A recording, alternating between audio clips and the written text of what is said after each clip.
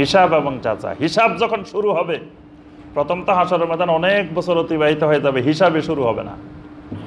পরে নবী সাল্লা সাল্লাম সাফাত করবেন, হিসাব শুরু করার জন্য। এটাকে বলা হয় সাফাত ওজমা বড় সাফাত।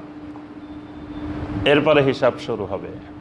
আল্লাহ রসুলাম দোয়া করতেন বারবার আল্লাহ হাসিবনি হিসাবাইয়াসিরা এ আল্লাহ, আমার সহজ হিসাব নিও। সাহাবাইকেরাম জিজ্ঞাসা করলেন, ইয়া রসুল্লাহ সাল্লাম সহজ হিসাবটা কেমন?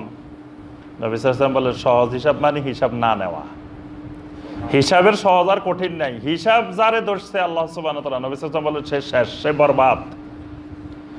সহজ হিসাব মানে আল্লাহ পাক ডেকে বান্দারে বলে দিছেন, কুল ইন কুনতুম তুহিব্বুন আল্লাহ ফাত্তাবিউনি ইউহবিবকুমুল্লাহু ওয়া ইয়াগফির লাকুম যুনুবাকুম।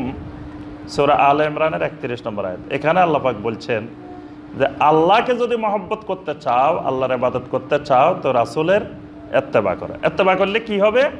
দুইটা পুরস্কার দিবেন। একটা হলো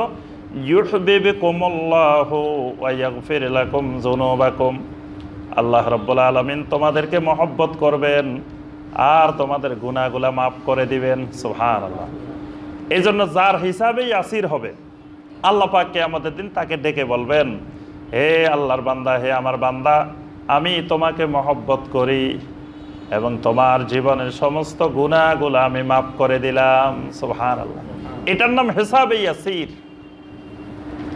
এই জন্য আল্লাহর কাছে দোয়া করতে হবে হিসাবে ইয়াসিরের জন্য। এই হিসাব এবং যাজা এখানে খুব ভয়াবহ। সবার হাতে হাতে কিতাব পৌঁছে যাবে।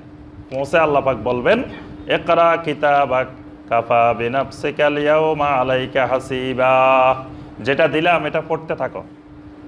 আজকে তোমার হিসাব আমি আল্লাহ করা লাগবে না। তোমার হিসাব তুমি নিজে করে ফেলো। সোহান তাহলে এই গাঠিটাও কিন্তু খুব ভয়ঙ্কর গাঠি হিসাব আল যাজা পাঁচ নম্বর